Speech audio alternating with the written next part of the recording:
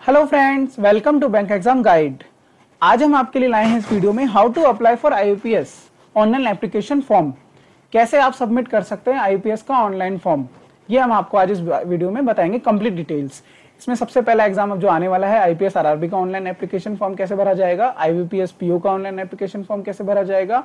तीसरा जो है आईपीएस क्लर्क का ऑनलाइन एप्लीकेशन फॉर्म कैसे भरेंगे आप? चौथा है आईपीएस एसओ का ऑनलाइन एप्लीकेशन फॉर्म कैसे भरेंगे?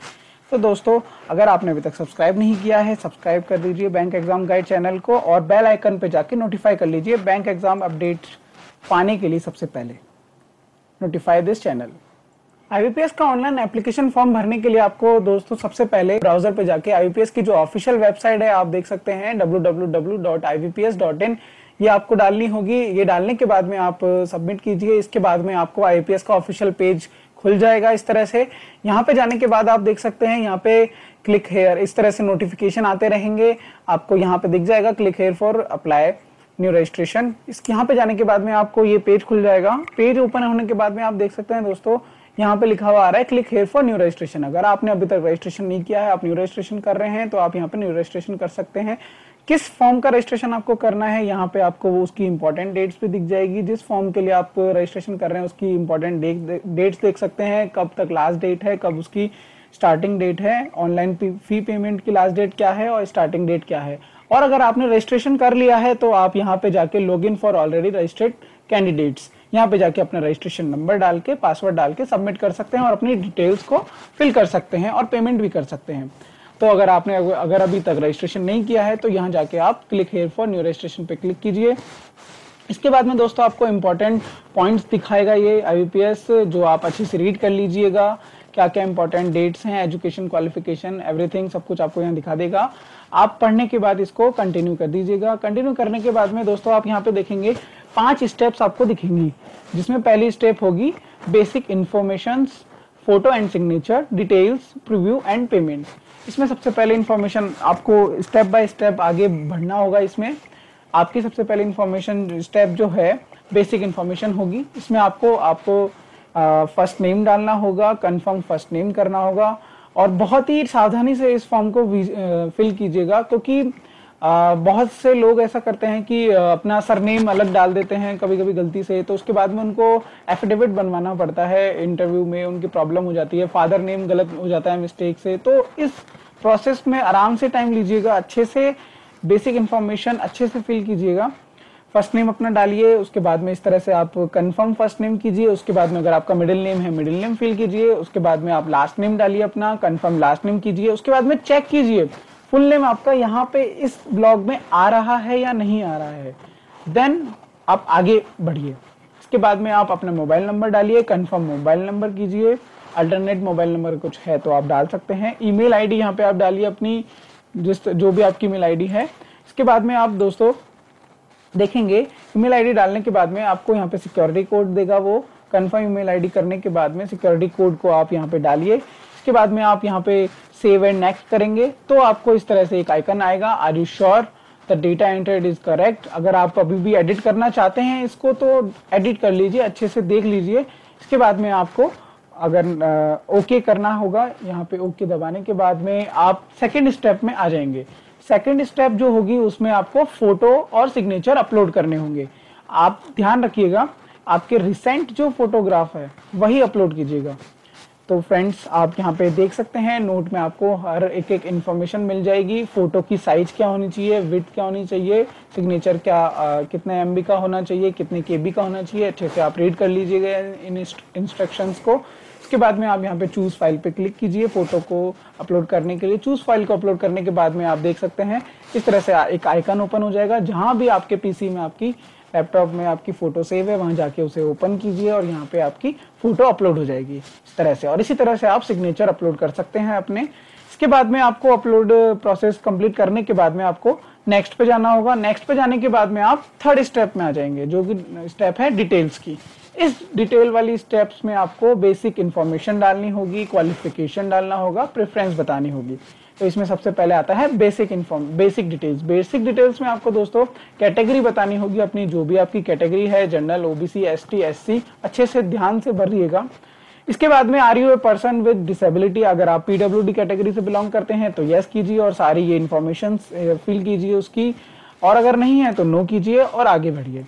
इसके बाद में नीचे आप देखेंगे कि इस तरह की इन्फॉर्मेशन आई, मिलेगी आपको basic information are you ex serviceman ex serviceman है तो उसकी पूरी डिटेल डालिए आप यहाँ पे, कितने ईयर्स क्या एवरीथिंग नहीं है तो नो नो करके आप आगे बढ़ सकते हैं।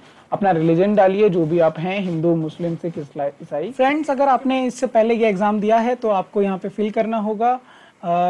अपना यहाँ पे फिल करना होगा। कि रजिस्ट्रेशन नंबर डालना होगा, यहाँ पे यस करके रजिस्ट्रेशन नंबर डालना होगा। आपका जो भी एग्ज़ाम का रजिस्ट्रेशन नंबर था 2011 में आपने दिया है तो 2011 में का डालना होगा। अगर 12 में दिया है, ये पूछेगा आपसे, आपने 12 में दिया है 11 में दिया है 13 में दिया है 14 में दिया है 15 में दिया है। अगर दिया है किसी भी ईयर का 16 में दिया है, किसी भी ईयर का एग्ज़ाम दिया है आपने तो यहाँ पे आपको रजिस्ट्रेशन नंबर डालना होगा अपना।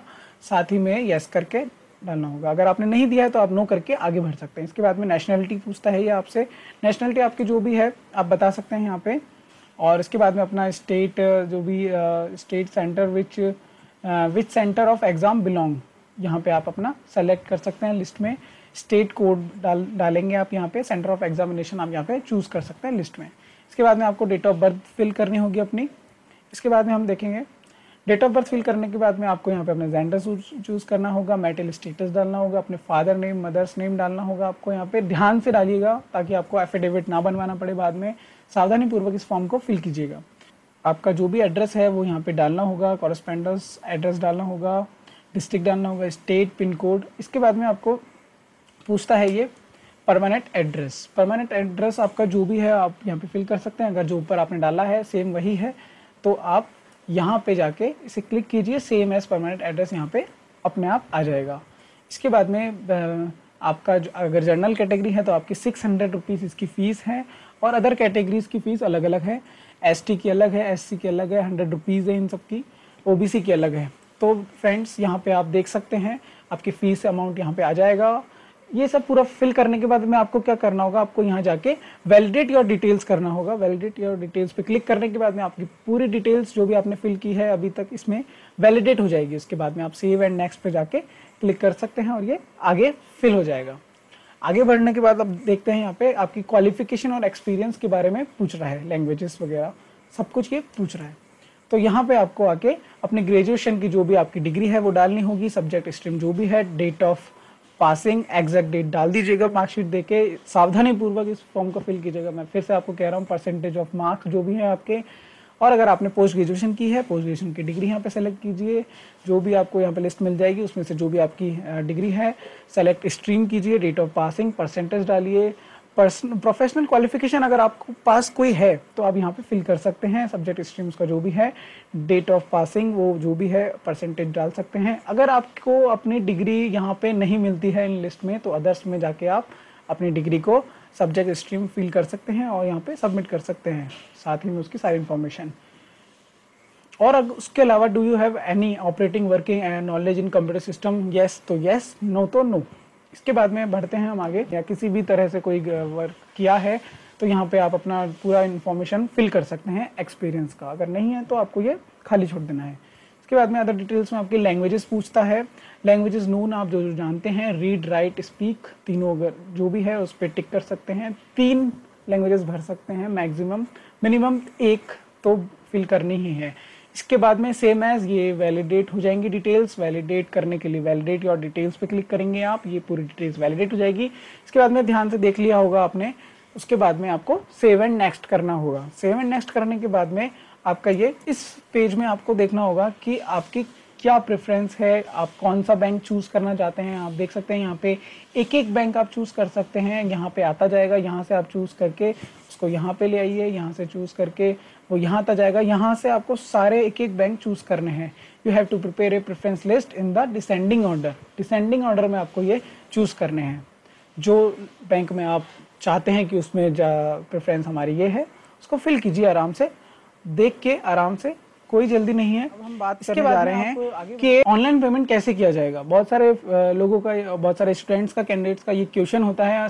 कैसे पेमेंट करना है? आप अपनी जो भी आपने इन्फॉर्मेशन है फिल करनी है फिल कर ली है तो आप रजिस्ट्रेशन फॉर्म पे जाके अपना रजिस्ट्रेशन नंबर डालिए वहाँ पे और अपना पासवर्ड डाल के एंटर कीजिए। और पेमेंट वाली स्टेप पे आप पहुँच जाएँगे।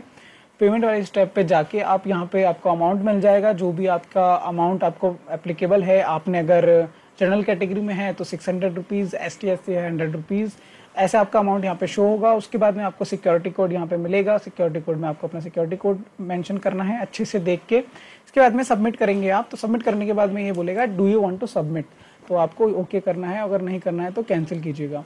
इसके बाद में आप आगे बढ़ेंगे तो ये बोलेगा please wait while you are redirecting to payment gateway तो आपको यहाँ पे वेट करना है, अपना ब्राउज़र को ना रिफ्रेश कीजिएगा, ना क्लोज कीजिएगा। यू आपके पास डेबिट कार्ड है, क्रेडिट कार्ड है, जो भी है, उसको निकाल के रखिएगा। आईएमपीएस से भी कर सकते हैं वॉलेट से भी कर सकते हैं। इसके बाद में ये आगे प्रोसेस बढ़ेगी। इसके बाद में ये आपका पूछेगा। आपको जो भी ऑप्शन लेना है यहाँ पे क्रेडिट कार्ड डेबिट कार्ड जिस भी ऑप्शन से आपको चूज़ करके पेमेंट करना है ऑनलाइन पेमेंट बहुत ही सिंपल है, बहुत ईजी है। यहाँ पे आपको अपना कार्ड नंबर डालना होगा एक्सपायर डेट डालनी होगी उसकी, जो कि आपको कार्ड पे मेंशन दिख जाएगी। और साथ ही में सीवीवी नंबर डालना होगा, जो कि कार्ड के बैक साइड में होता है।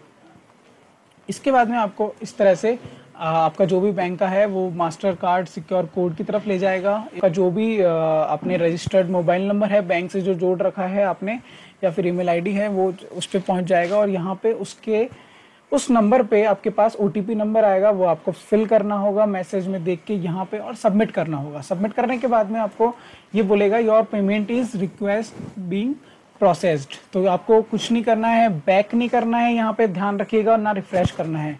इसके बाद में आपका पेमेंट हो जाएगा within ten to twenty seconds में और यहाँ पे आपको सक्सेस लिखा हुआ जाएगा और आप इसको प्रिंट भी कर सकते हैं इस तरह से। इसके बाद में आप वापस से बैक आके अपने होम पेज पे आ सकते हैं, जहाँ से आपने फॉर्म फिल किया था, वहाँ जाके आप अपने प्रिव्यू ले सकते हैं, जो भी आपने फॉर्म फॉर्म फिल किया है उसका, कि फॉर्म का लास्ट प्रिव्यू क्या है, कोई डिटेल्स में प्रॉब्लम तो नहीं है। तो आप जाइए लॉगिन लॉगिन करना है आपको यहाँ से, और अपना जो भी रजिस्ट्रेशन नंबर था उसको संभाल के रखिएगा। जब हमने फॉर्म फिल किया था, उस रजिस्ट्रेशन नंबर को लिख लीजिएगा फ़ोटो खींच के रख लीजिएगा उसको, उसकी रजिस्ट्रेशन नंबर और पासवर्ड को, ये आपको बार बार काम में आएगा। रजिस्ट्रेशन नंबर यहाँ डालिए अपना पासवर्ड डालिए सबमिट कीजिए। सबमिट करने के बाद में आपका जो भी आपने फॉर्म फिल किया है, वो प्रीव्यू आपको दिख जाएगा यहाँ पे। आपका नाम देख सकते हैं, सारे डिटेल्स देख सकते हैं और आपको यहाँ पे राइट साइड में प्रिंट का ऑप्शन दिखेगा, वहाँ जाके आप प्रिंट भी कर सकते हैं। और फ्रेंड्स ऑफिशियल वेबसाइट का लिंक हमने डिस्क्रिप्शन में दे दिया है तो डिस्क्रिप्शन में जाके ऑफिशियल वेबसाइट का लिंक देख सकते हैं। साथ ही में हमने आरआरबी के पोस्ट से रिलेटेड आपको बहुत सारे सजेस्टेड पोस्ट आपके लिए डिस्क्रिप्शन में डाल दिए हैं। आप उन पे जाके और अच्छे से गाइड इन्फॉर्मेशन ले सकते हैं। कंप्लीट आज के लिए इतना ही। और जुड़े रहिए हमसे for more details and latest updates of bank exams you can visit हमारी वेबसाइट जो है www.ivpsrecruitment.in and subscribe this channel दोस्तों साथ ही में you can use our comment section below for any query और साथ ही में friends you can also join us on Facebook page जो कि है I B P S guide wish you very all the best friends